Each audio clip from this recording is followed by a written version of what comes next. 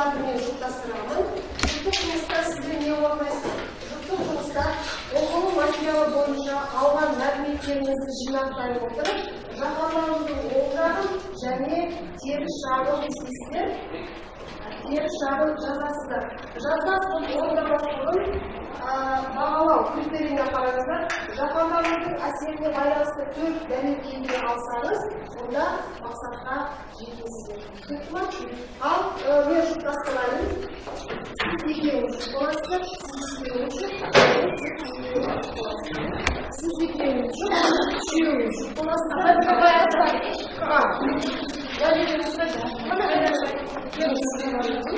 сіз екеуіңіз жұп боласыз сіз екеуіңіз жұп боласыз сіз екеуіңіз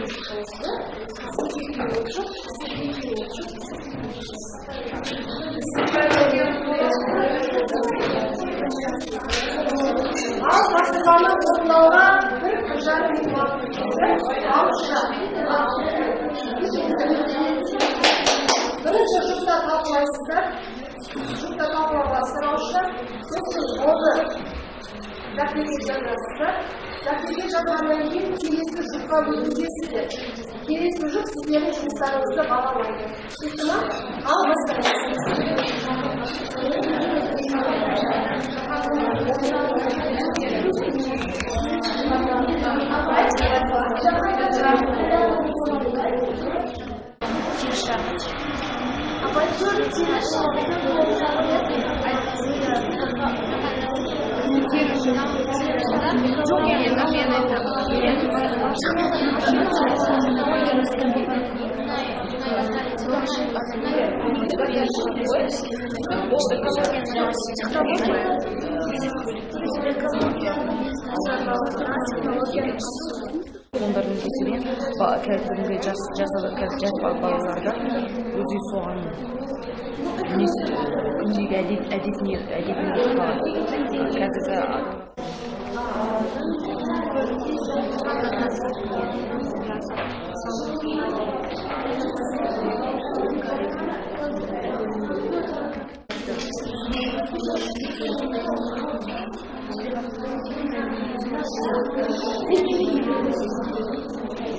ал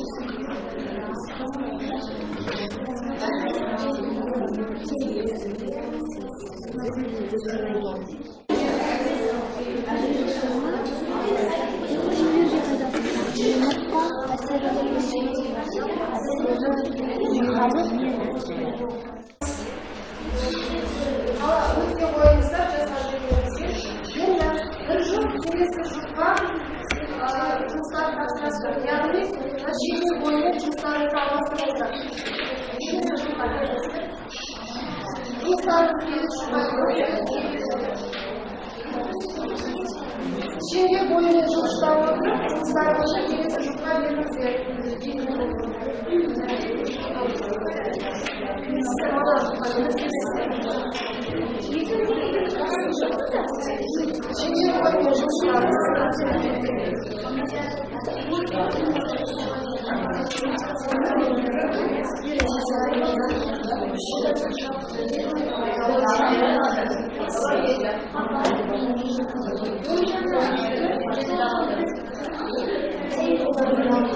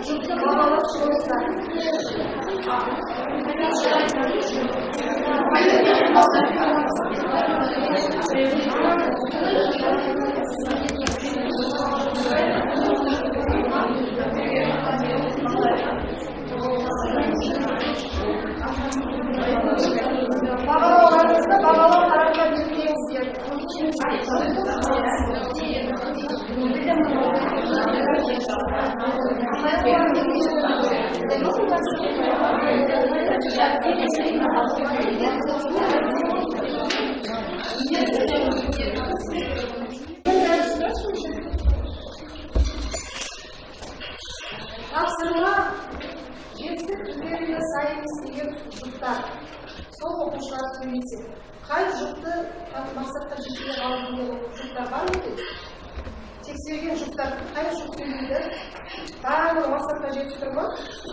da öncelikle sizi Ayşe'nin içerisinde Amerikanlıkları yapan yaratılığını bitirdi. Olar olar yıkanan oranın akısı ilgili yerinde üstüde Amerika'da ortaklanan için ortak ücreti nasıl devletler aldı, nasıl kimler aldı.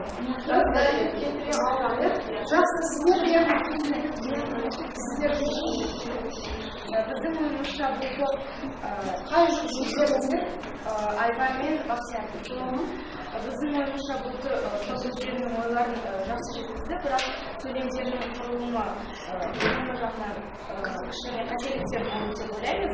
Және де төртінші екінші оң жағын оң жағына аргументтер келтірді де ал теріс жағына келтірген теріс жағына дәлел келтіре алмаған.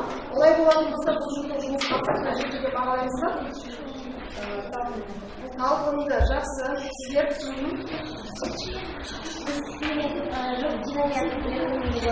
олар дұрыс бірақ көп көп мысалы теріс жақтарын жазып жазып сіздердің жұптарыңыз теріс жағын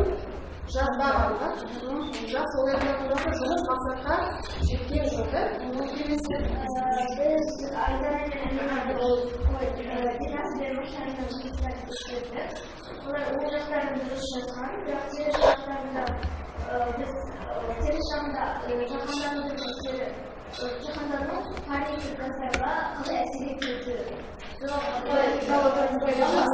жаһанданудың әсері жаһандану теріс жағына жатады деп жазыпты бұл жоқ біз келіспейміз сіздер қалай ойлайсыздар келісесіздер ма иә жаһандануға кері әсерін тигізе ма теріс жағына жатқызуға бола ма парниктік газдар олай болатын болса бұл дұрыс иә жақсы өте жақсы енді келесі тапсырмамыз бізге тыңдалым тапсырмасы тыңдалым тапсырмасы алдында сіздерге тыңдалым алды тапсырмадан кейін сіздерге әр топқа жеке жеке тапсырма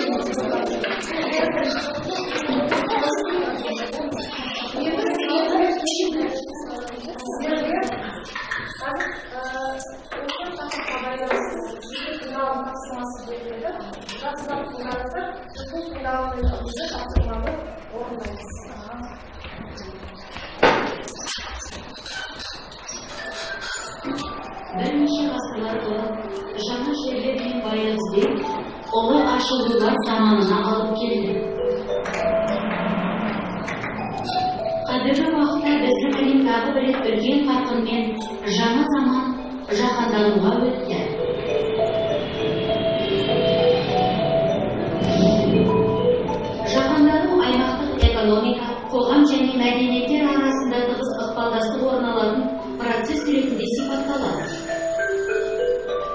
Бұл халықаралық сипатқа ие байланыс жүйесі транспорт және сауданың арқасында мүмкін болды.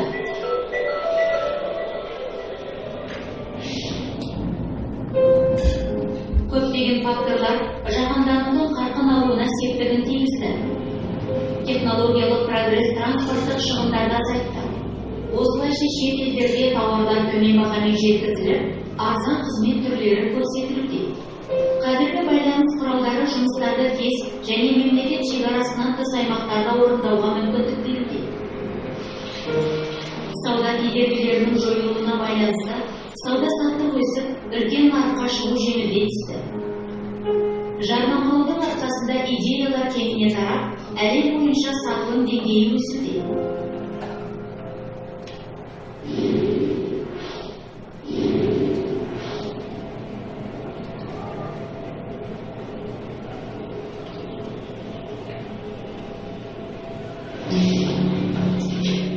Бизнес жаһанданудың негізгі қозғаушы күші барлық компаниялар өз жұмысын жергілікті деңгейде бастаса кейбіреулері әлем бойынша тарайды трансұлттық немесе көпұлтты корпорациялар халықаралық операциялар арқасында гүлденуде олардың атаулары әлем бойынша көшелер мен экрандарда танымал болды.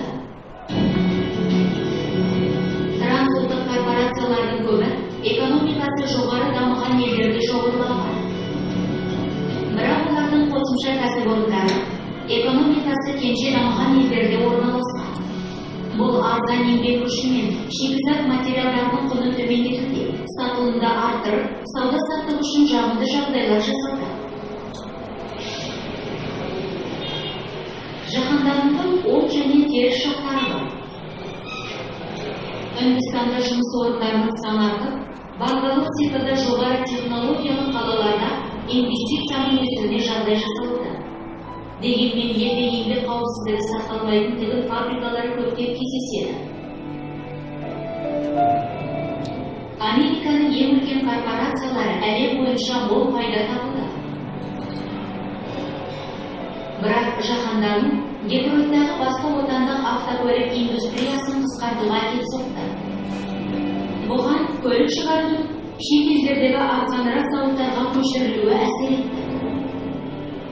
Экономикалық пайда ұзақ уақыт бойы жаңа жерлерді іздеудің негізгі себебі болды. Жаһанданудың күрделі феномені бұл процесті жалғастыруда. Жақсы тыңдалым аяқталды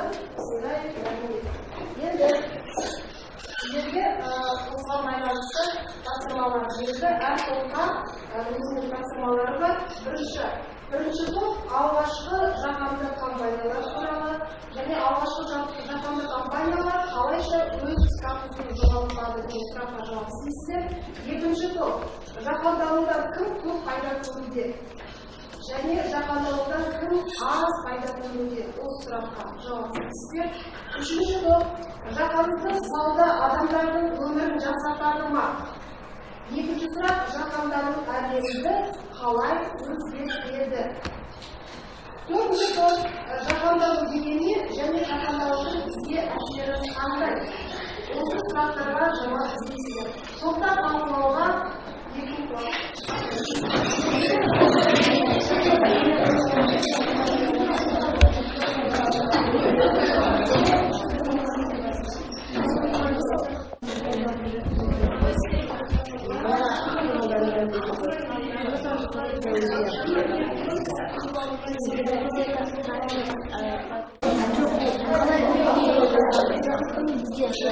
要야기要에다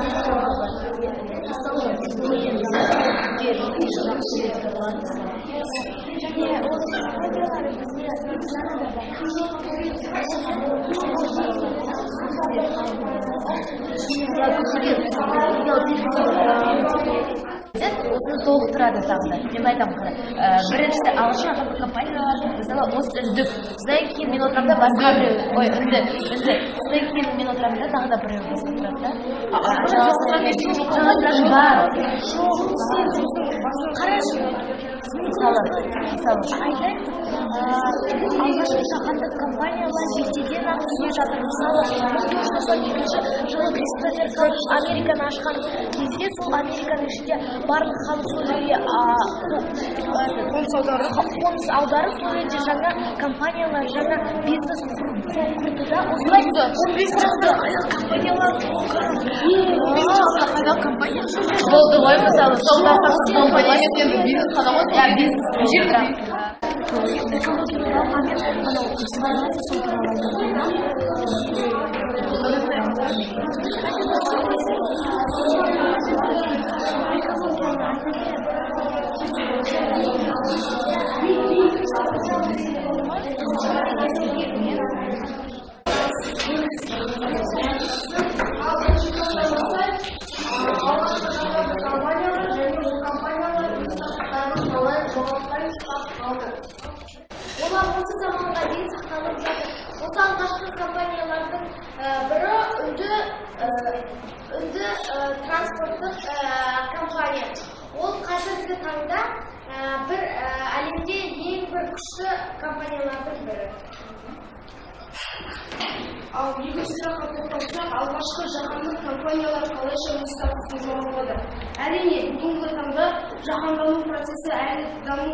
даму үстінде сондықтан жаһандануға ең қажетті заттар ол жаһандық компаниялар. Яғни оларға ұсыныс түсуде. Яғни біз жаһандық компанияларға мұқтажбыз. Солар сол- соның арқасында жаһандық компаниялар жоғалтады және де қазіргі жаһандық компаниялар бір бірімен таласқа түсуде. Кім ең арзан бағаны берсе сол компаниямен көп көп корпорациялар жұмыс істеу барысында. Сондықтан ост компаниясы ең ә, төмен төменгі бағаларды беріп өзіне қызметшілікті көп ә, арттыруда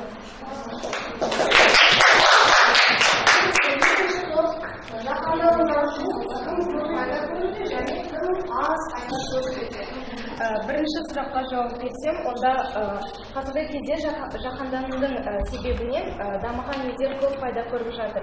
Оған мысалға ақш алуға болады.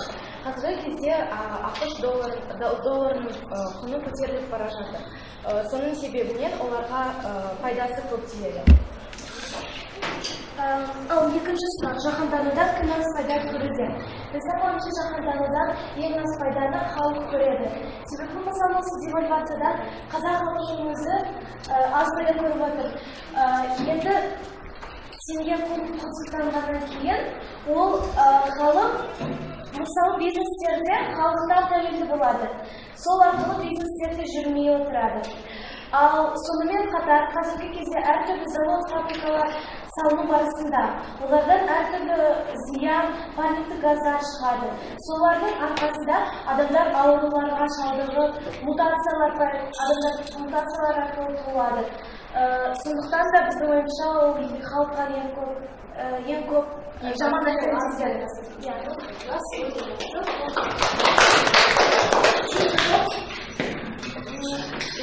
бірінші сұрақ бұл сауда адамдардың өмірін жақсартады ма? Біздің тобымыздың ойынша жаһандық сауда адамдардың өмірін жақсартады. Себебі қазіргі кезде көптеген технологиялар киім жақсы матадан киімдер салынады. Мысалы қазіргі кезде жібектен көп жасалады және көптеген транспорттар шықты.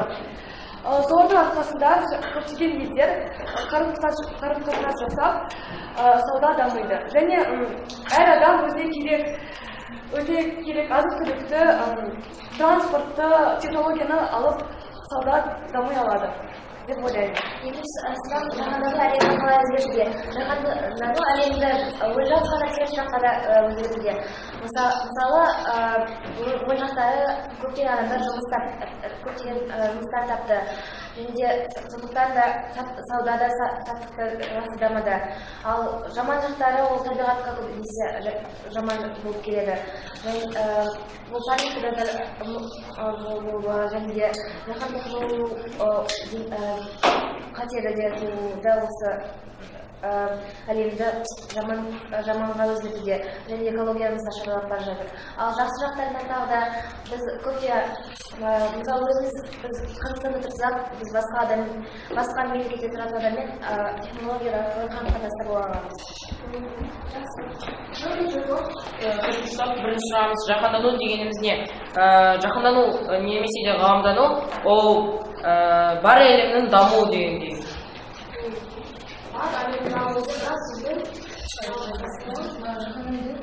жаһанданудың бізге әсері қандай Ә, жаһан жаһаннан жаһанданудың жақсы әсері және жаман әсері бар.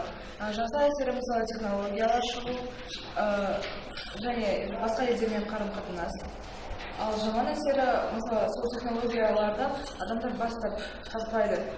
Сонда еріншек болады кейбір кездерде өзі өзіне зиян әкеледі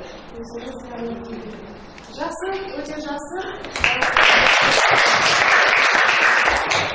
жақсы мәліметтер айттыңыздар Ә, мен тағы санап қағазда сіздерге айтқанмен мынау жасаған ассоциацияларымызға қайта ораламыз қазір мен сіздерге өздеріңіздің жұмыстарыңызға қайтарып жіберемін бүгінгі алған оқылым және тыңдалым материалы бойынша алған мәліметтеріңізбен сіздер мынаны толықтырасыздар толықтырған кезде өздеріңіздің жазғандарыңызды ерекшелеп көрсетіп қоясыздар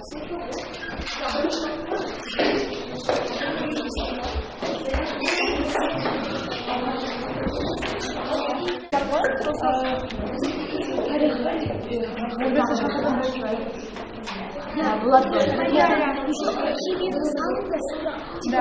ғой? бірінші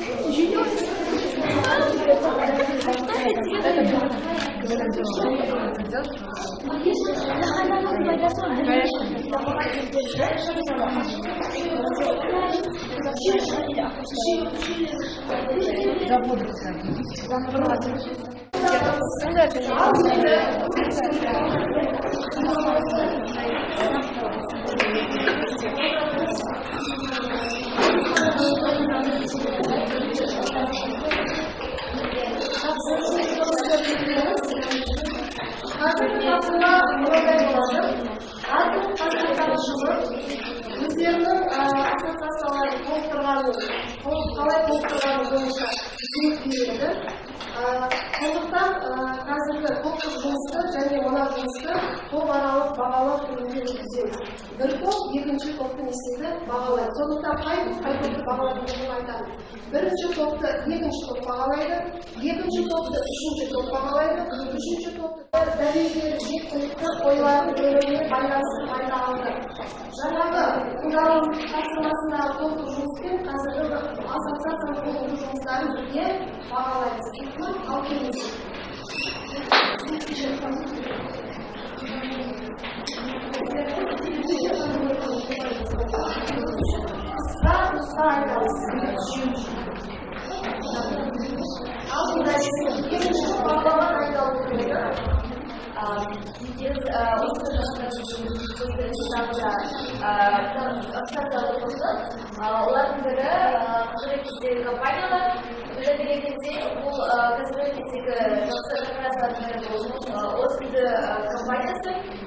және осы барлық компаниялар.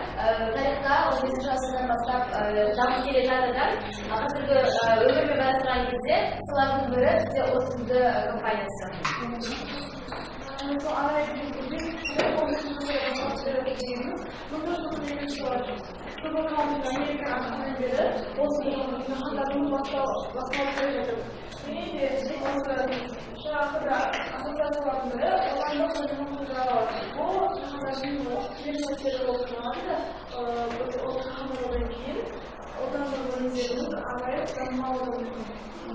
Оперативтік жайт ол жұмыс орындарының көбеюі жаһандану өнер жұмыс орындарының көбеюі жүктелуде алайда жаңа біз көрген бейнематериалдағыдай бейнематериалда айтқандағыдай жұмыс орындары әрқашан да қауіпсіз немесе барлық критерийлер орындалмауы да мүмкін сондықтан біз бұл жерге дұрыс емес деген ойды білдіреміз кей кезде ол дұрыс емес бағытта жүруі мүмкін сонымен бірге қоса кетсек қоса кетсек осы жаһанданудың жаһанданудың әсеріне бағынып жүре бермей өзіміздің отандық өнімге иә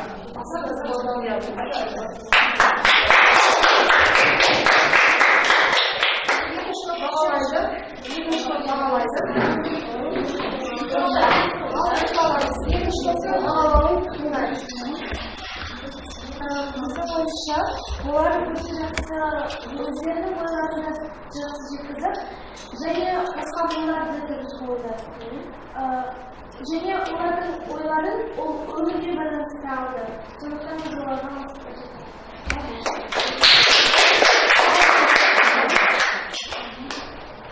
екінші топты үшінші топ бағалайды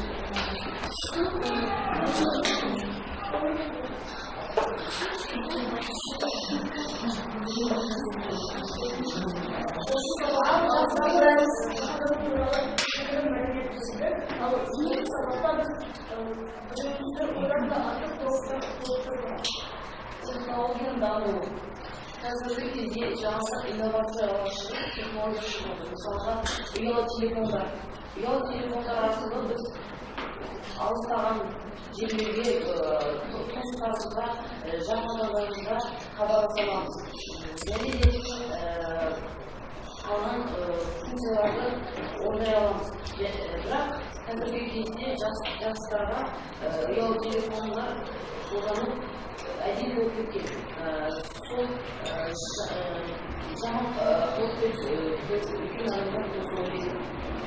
келесі жаңа жаңа инновациялар жаңа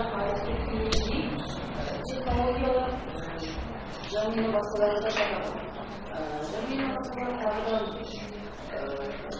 мысалға айтсақ киім әлде айтады ғой мысалы мықты мықты армия соғысқа адамдарда киімдер жасап береді сол сол сияқты және жаңадан жасалған мысалы роботтар соларға жатқызса болады келесі сауда.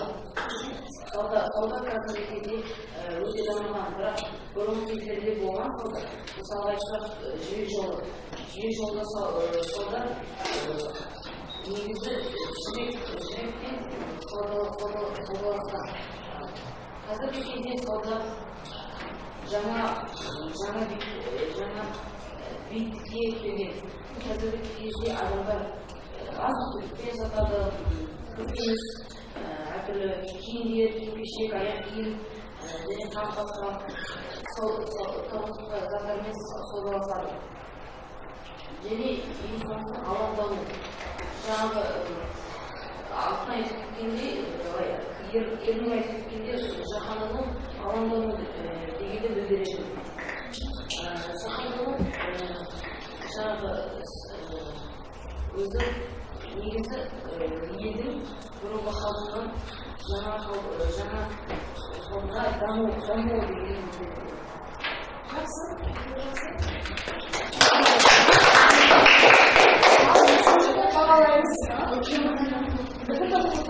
бойынша олар барлық сұрақтарға жауап бере алды және жеткілікті дәлелдерді дәлелдерді көрсетті және олардың өмірмен байланыстыра алды деп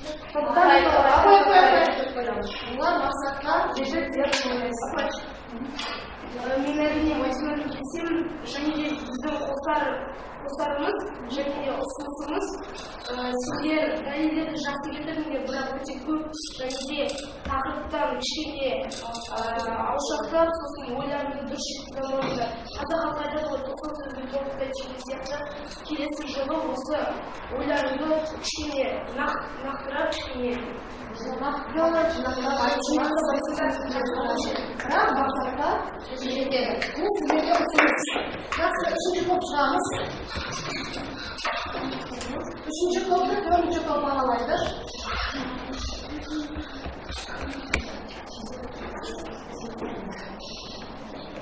ауыз сөздің толықтай түйінін айта білуіміз керек Жаһандану арқасында технология сауда саттық дамиды. сіздер не қостыңыздар қосқандарыңыз айтыңыз Біз жаһандану арқасында елдер көп дамиды. Сол даму ішінде технология сауда саттық кіреді.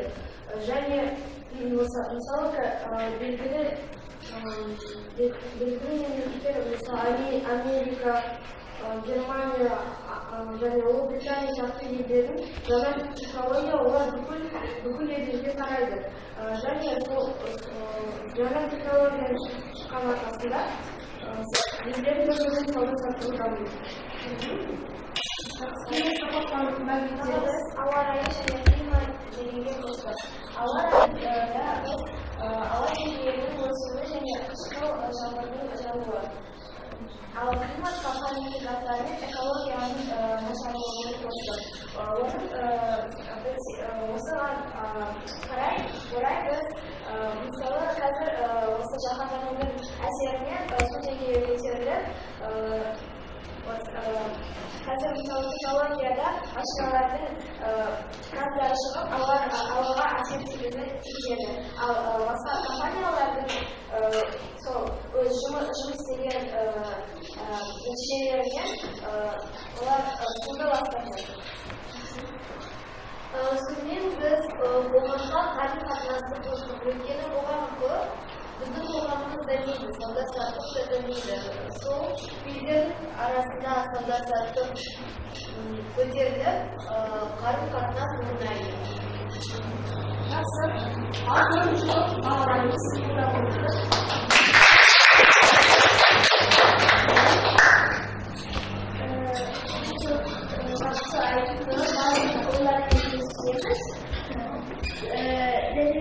барлық критерияларды сақтадық дәлелдерді дәлелдерге сонымен байланыстыра алды сондықтан біз оларға жұмыс қажет төртінші топты бірінші топ бағалайды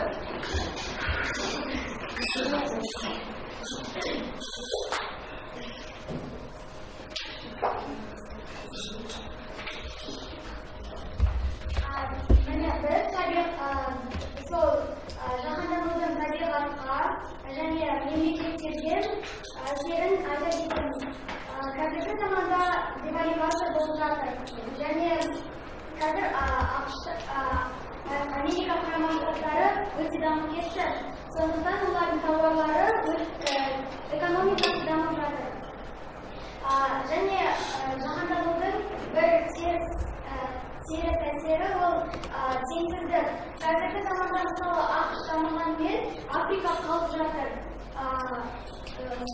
сол ол ол жаһанданудың әсері тағы да жаһанданудың теріс әсері ол табиғатқа және осы полиция газдар табиғатқа жаман әсері болды жақсы олар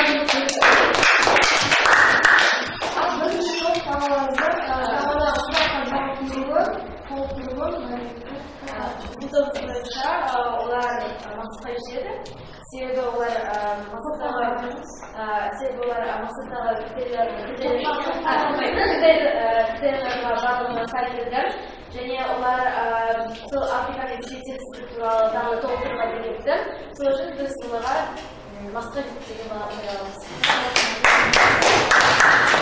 Біздің шамамызға кері байланыс жасайық. Алдарыңызда блок ағашының суреті жатыр. Сіз сол ағаштың екенін суретті бояп көрсетіңіз.